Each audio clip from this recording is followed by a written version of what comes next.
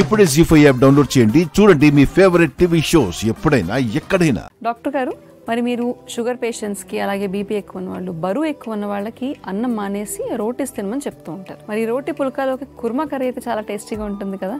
ఆ కుర్మా కర్రీని ఎక్కువ ఆయిల్ వేసి ఉప్పు కారాలు మసాలాలు వేసే కంటే కూడా ఆరోగ్యవంతంగా ఎలా తయారు చేసుకోవచ్చో చూపిద్దామా? ఉప్పు లేని లోటు లేకుండా ఏ కర్రీనైనా ఏ ఐటెంనైనా చాలా ఫ్రీగా హ్యాపీగా తినగలిగే చేయడానికి స్వీట్ కార్న్ గింజలు బాగా ఉపయోగపడతాయి.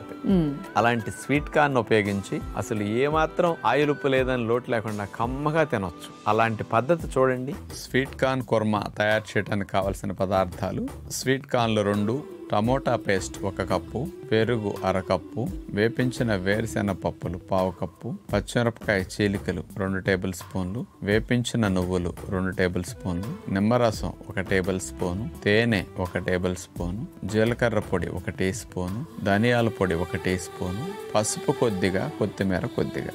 ముందుగా మనం తీసుకున్న స్వీట్ కార్న్ కండిల్ని ఇట్లా చిన్న సైజు చక్రాల వలె కట్ చేసుకోవాలి. అలా కట్ చేసుకున్న స్వీట్ కార్న్ చక్రాల్ని చిన్న సైజు ప్రెషర్ కుక్కర్లో వేసేసి ఆ ఉడికేటప్పుడు ఆ స్వీట్ కార్న్ గింజల్లో ఉండే చప్పదనం పోవటానికి తేనె టమోటా రసం ఈ రెండు వేసేసి ఆ స్వీట్ కార్న్ ముక్కల్ని ఉడికిస్తాం. ఇందులో కొద్దిగా పసుపు కూడా వేసేస్తాం. ఉడకటానికి కొంచెం నీళ్ళు పోస్తాం. మూడు విజిల్స్ వచ్చే వరకు ఉడకనిస్తే టమోటా రసము తేనె గింజలకు పట్టేసి గింజల్లో చప్పదనం పోయి కమ్మగా ఉడికుంటాయి అన్నమాట ఇక ఉడికించిన మొక్కలను పక్కన పెట్టుకుంటాం. ఇక కుర్మాలో గ్రేవీ కొరకు ఒక మిక్సీ జార్ తీసుకుని అందులో వేపించిన వేరుశెనగ పప్పులు వేపించిన నువ్వులు పచ్చిమిరపకాయ చీలికలు కొద్దిగా గట్టి పెరుగు వేసేసి కుర్మాకి గ్రేవీని అట్లా గ్రైండ్ చేసి పక్కన పెట్టుకుంటాం. ఇక కుర్మా కొరకు మట్టి పాత్రలో మేగడ వేసేసి అందులో ధనియాల పొడి జీలకర్ర పొడి ఈ రెండు వేసేసి పైన వేరుశెనగ పప్పులు పెరుగుతో చేసిన గ్రేవీని ఇందులో మనం పోసేసాం. ఆ గ్రేవీ కొద్దిగా వేడెక్కిన తర్వాత అందులో కొద్దిగా పసుపు అలాగే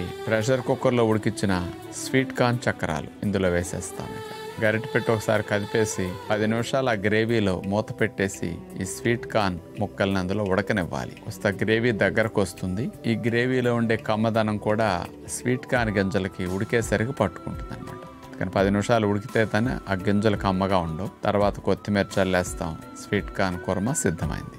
చూసారు కదండి? మా డాక్టర్ గారు చూపించిన విధానంగా మనం స్వీట్ కార్న్ కుర్మాని తీసుకుంటే కనుక ఈ రెసిపీని చేసే విధానం డాక్టర్ గారు మనకు చూపించారు. మరి స్వీట్ కార్న్ అన్నది ఆరోగ్యానికి ఎంత మంచిదో ప్రతి ఎపిసోడ్లో చెప్తూనే ఉంటాము. దాంతో కుర్మాని టేస్టీగా చేసుకుంటే ఒక కొత్త రెసిపీ ఉంటుంది. అలాగే ఆరోగ్యం కూడా మీకు అందుతుంది కాబట్టి ట్రై చేయండి. డాక్టర్ గారు.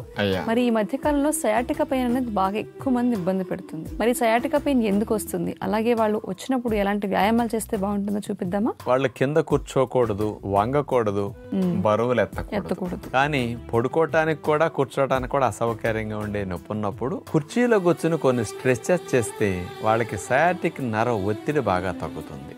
మరి అలాంటి నొప్పి తీవ్రతో బాధపడేవారు కుర్చీలో కూర్చుని ఒత్తిడిని తగ్గించడానికి ఎలాంటి టెక్నిక్స్ మనం ఉపయోగిస్తే బాగుంటుందో చూడండి ఇప్పుడు ముందుగా కుర్చీలో చివరకంటూ జరిగి నడుము లైన్గా పెట్టి కూర్చున్న తర్వాత ఎడమ కాలు పైన కుడి కాలుని అట్లా పెట్టేసుకుని కూర్చుని రెండు చేతులతో కుడి మోకాల దగ్గర అట్లా పట్టుకుని మోకాల్ని రొమ్ము దగ్గరకు వచ్చేటట్టు అట్లా లాక్కోవాలి. తర్వాత మళ్ళీ కాలుని స్ట్రైట్గా చేస్తాం. ఇదే విధంగా అంటే కాలుని అట్లా రొమ్ము దగ్గరకు లాగేసరికి ఆ సయాటిక్ నర్వ్ స్ట్రెచ్చింగ్ బాగా జరుగుతుంది అనమాట ఇలా కుడికాళ్ళు స్ట్రెచ్చింగ్ చేసిన తర్వాత ఈసారి కుడికాలు తొడపైన ఎడమ కాలుని అట్లా పెట్టేస్తాం. రెండు చేతులతో ఎడమ మోకాల్ని అట్లా పట్టుకుని ఎడమ కాల్ని మోకాల్ని రొమ్ము దగ్గరికి వెళ్ళేటట్లా లాక్కోవాలి. మళ్ళా నార్మల్ లెవెల్కి. ఇట్లా రెండు కాళ్ళకి ఈ సయాటికా స్ట్రెచెస్ మొదటి రకం చేసిన తర్వాత ఇప్పుడు ఇందాటి వెళ్ళే కుర్చీలో స్ట్రైట్గా కూర్చున్న తర్వాత ఎడమ కాలు పైన కుడి పాదాన్ని అట్లా పెట్టేసి కుడి చేత్తో మోకాల్ని కిందకు అట్లా నొక్కాలి. అప్పుడు పాదం పైకి లెగుస్తుంది మెడ నడుమై కూడా ఎడం వైపుకి అట్లా మనం ట్విస్ట్ చేయాలి.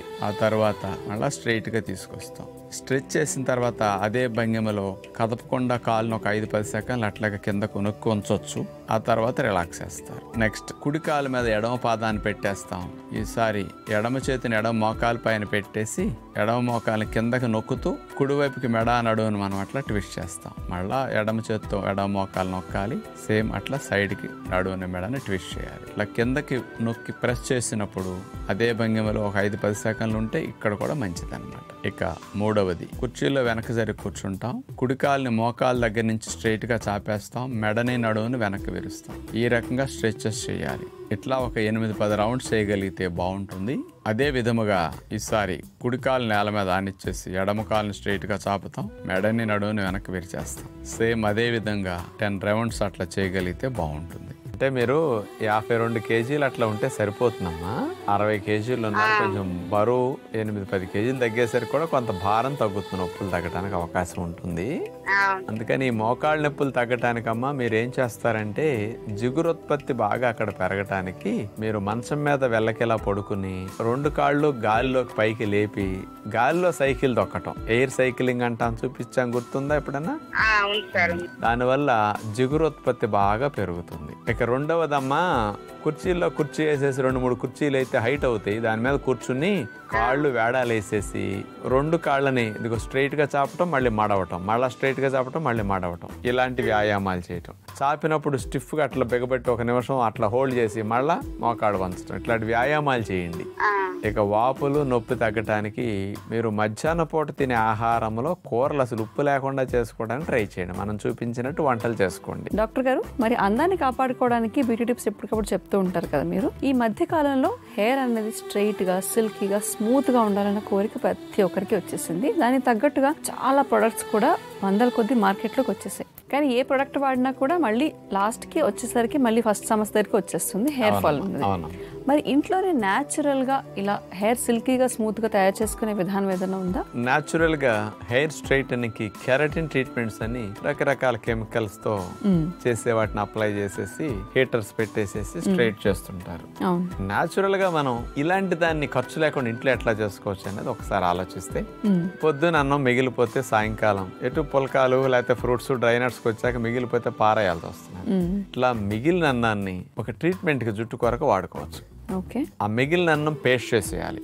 ఆ పేస్ట్కి ఎగ్గ సొన వైట్ ది పోసేసి అందులో ఇంత కోకోనట్ ఆయిల్ వేసేసి ఈ మూడు మిశ్రమాలు కలిపిన తర్వాత మనం ఏదన్నా కాస్త వెడల్పుగా ఉండే చెంబు లాంటి దాన్ని అట్లాంటి దాన్ని తీసుకుని ఈ మూడిటి మిశ్రమం పేస్ట్ మీద వేసి ఇట్లా నొక్కాలి రుద్దాలన్నమాట.